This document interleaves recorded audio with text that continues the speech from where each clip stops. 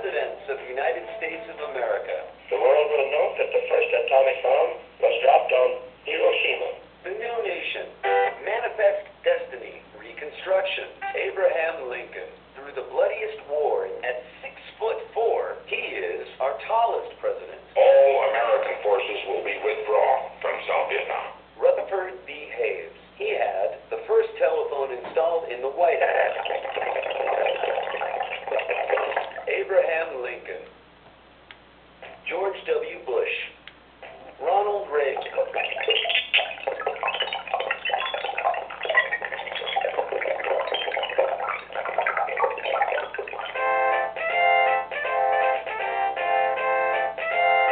Warren G. Harding. Ask not what your country can do for you. Ask what you